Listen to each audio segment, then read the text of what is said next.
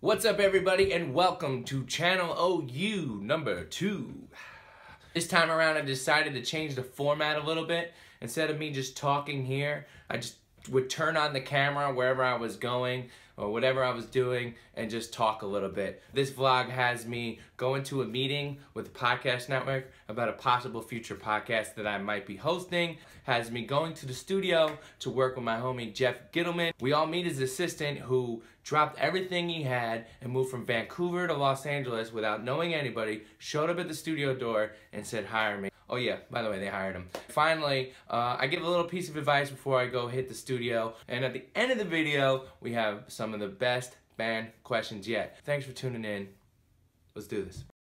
We're here in downtown LA, here with my man E, who helps me out. He's a part of the RPM team. We are a small collective of strong-minded individuals just trying to make a difference in the world. I said in the first vlog that I was gonna attempt to get more footage out and about.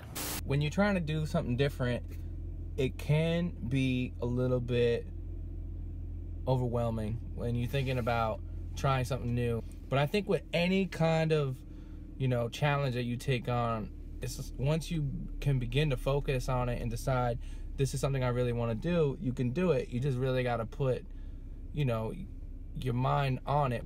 There's only really one way to find out about anything in life, and that's to just damn try it and there might be you know i've learned with anything like you try it and then you think okay i can do this better do this better do this better. Just like with this vlog. I haven't been drinking a lot of beer recently. Been on a little bit of a health kick. But once in a while it is nice to have a beer especially when you roll up to whole foods and find this guy pliny the elder russian river brewery. If you're unfamiliar it's some great great stuff Out here on the west side, about to go work with my boy Jeff Gitelman. We call him Giddy. He's the guy who produced the boogie. The record is getting kind of near the end to create, but still have some time, so we work to the very end. So, you came here from Vancouver. Yes. You just dropped all your shit. Yep. Like How old are you, Luke? Sorry. 21. 21. So I'm gonna let you do the interview first. No, no, it's cool. Like, what was your plan? You just like, I'm gonna show up at Omasis and become an intern? Yes. I, I watched his um Red Bull documentary Yes. and then I came down. What was- what happened was like I talked to him on Snapchat Okay. and then he said if I made money to support myself here, he, he would take me in as an intern. But then I didn't get into contact with him until after I came to LA. Yeah. So I just. Just And showed up. So day one, I saw him and it was just because I just got off the plane too. Yeah. As soon as I got the plane, like, "Oh yeah, we have this new intern. He just showed up on our doorstep. Like it's just like a puppy." It's I know so many people that are talented but are like lazy as fuck. You know what I'm saying? Like, people are like, "Yeah, I, I'm gonna do this professionally, but honestly, I'm gonna wait." To me, it's like, no. Why would you wait? Why would you wait to do something that you want? Why would you do something you don't want just the way you do something you want? You should just do whatever it is now to get faster to the end result you're really good at something, you have to like love it because that's the only way you're gonna just keep doing it and not trying to fulfill just a fucking quota. You know what I mean? Today I'm heading off to the studio again. I've been working uh, with a lot of talented artists and songwriters. I think one of the best things about working with all different kinds of people is you can take uh, some things from their creative process and use it with yours. You know, take it along with you. All right, and now it's time to answer some fan questions. Andy Anderson, longtime fan and supporter, uh, he asked if you can go back and talk to a young Rich, what would you tell him? And I would just tell him to trust your instinct.